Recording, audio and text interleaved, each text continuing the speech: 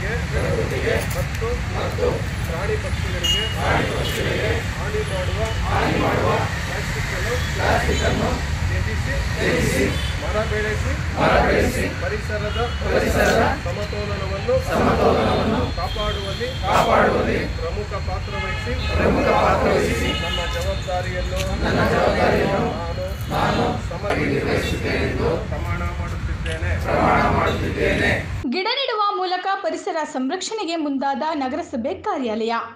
ಬೆಂಗಳೂರು ಗ್ರಾಮಾಂತರ ಜಿಲ್ಲೆಯ ನೆಲಮಂಗಲ ನಗರದ ನಗರಸಭೆ ವತಿಯಿಂದ ವಿಶ್ವ ಪರಿಸರ ದಿನದ ಅಂಗವಾಗಿ ನೂರಕ್ಕೂ ಹೆಚ್ಚು ಸಸಿಗಳನ್ನು ನಗರವಾಸಿಗಳಿಗೆ ವಿತರಿಸಲಾಯಿತು.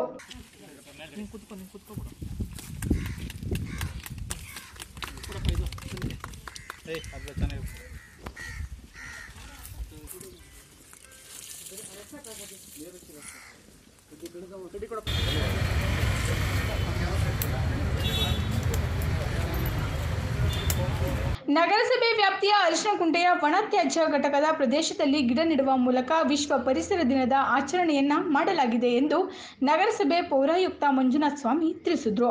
ನಂತರ ಮಾತನಾಡಿ ಇಂದಿನ ಆಧುನಿಕ ಜೀವನದಲ್ಲಿ ಪರಿಸರ ಸಂರಕ್ಷಣೆ ನಮ್ಮೆಲ್ಲರ ಹೊಣೆಯಾಗಿದ್ದು ಕೇವಲ ವಿಶ್ವ ಪರಿಸರ ದಿನದಂದೇ ಸಸಿ ನೆಡುವುದು ಕಾರ್ಯಕ್ರಮವಾಗದೆ ಪ್ರತಿನಿತ್ಯ ಪ್ರತಿಯೊಬ್ಬರು ಗಿಡ ನೆಡುವ ಮೂಲಕ ಪರಿಸರ ಸಂರಕ್ಷಣೆಗೆ ಮುಂದಾಗಬೇಕಾಗಿದೆ ಎಂದರು. ನಗರಸಭೆ ವತಿಯಿಂದ ನಮ್ಮ ಡ್ರೈ ವೇಸ್ಟ್ ಮ್ಯಾನೇಜ್ಮೆಂಟ್ ಸೆಂಟ್ರಲ್ಲಿ ಆ, ಸಸಿಗಳನ್ನು ನೆಡುವ ಮೂಲಕ ನಾವು ಈ ದಿನ ಇದಕ್ಕೆ ಚಾಲನೆ ಕೊಟ್ಟಿದ್ದೀವಿ.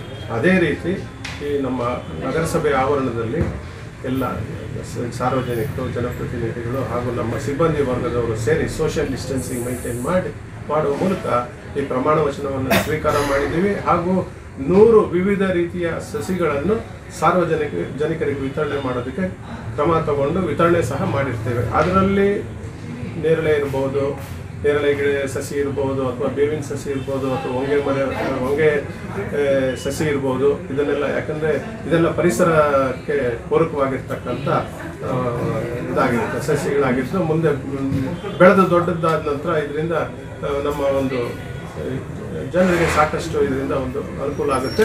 ಪರಿಸರಕ್ಕೂ ಇದರಿಂದ ತುಂಬಾ ಉಪಕಾರ ಉಪಕಾರಿಯಾಗಿರುತ್ತೆ.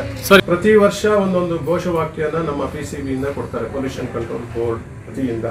ಈ ವರ್ಷದ ಎರಡು ಸಾವಿರದ ಇಪ್ಪತ್ತನೇ ಸಾಲಿಗೆ ಅವರು ಕೊಟ್ಟಿರ್ತಕ್ಕಂಥ ಥೀಮ್ ಏನು ಅಂತಂದರೆ ಜೀವ ವೈವಿಧ್ಯ ಬಯೋಡೈವರ್ಸಿಟಿ ಅಂತ ಏನು ಕರಿತೀವಿ? ಈ ಜೈವ ವೈವಿಧ್ಯವನ್ನು ಸಂರಕ್ಷಣೆ ಮಾಡೋದು ಮತ್ತು ಉಳಿಸ್ಕೊಂಡು ಹೋಗೋದೇ ಆಗಿರುತ್ತೆ. ಮತ್ತೆ ನಾವು ಪರಿಸರಕ್ಕೋಸ್ಕರ ಸಮಯ ಕೊಡಬೇಕು ಅನ್ನೋದೇ ಈ ವರ್ಷದ ಒಂದು ಘೋಷವಾಕ್ಯ ಆಗಿರುತ್ತೆ. ಇಲ್ಲಿ ನಾವು ಬಹಳ ಮುಖ್ಯವಾಗಿ ಈ ಗ್ಲೋಬಲ್ ವಾರ್ಮಿಂಗ್ ಅಂತ ಏನು ಕರೀತಾ ಇದ್ದೀವಿ ಇವತ್ತು ಅದು ದೊಡ್ಡ ಸಮಸ್ಯೆ ಆಗಿದೆ. ಅದಕ್ಕೆ ಪೂರಕವಾಗಿ ನಾವೆಲ್ಲ ಪ್ರತಿಯೊಬ್ಬರದು ಅವರ ವೈಯಕ್ತಿಕ ಜವಾಬ್ದಾರಿಯಾಗಿರುತ್ತೆ. ಅದರಿಂದ ಪ್ರತಿಯೊಬ್ಬರು ಕಾಳಜಿ ವಹಿಸಿ ಮತ್ತು ಈ ಪರಿಸರದಲ್ಲಿ ಪ್ಲಾಸ್ಟಿಕ್ ಬಳಕೆಯನ್ನು ಎಷ್ಟು ಕಡಿಮೆ ಮಾಡ್ತಾರೋ ಅಷ್ಟೂ ಬಹಳ ಒಳ್ಳೆಯದು. ಮತ್ತು ಅವರು ಕೊಡ್ತಾ, ಪರಿಸರಕ್ಕೆ ಕೊಡ್ತಾ ಇರ್ತಕ್ಕಂಥ ಒಂದು ದೊಡ್ಡ ಒಂದು ಕೊಡುಗೆ ಅಂತಲೇ ಹೇಳ್ಬೋದು.